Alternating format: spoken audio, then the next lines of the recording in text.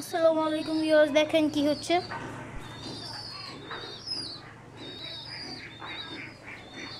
আমি আজকে আমার তিনটা কবুতরকে ছিঁড়েছি, আবার সাথে বাচ্চাগুলির পট ধরে আসছি, এখন দেখেন কি হচ্ছে।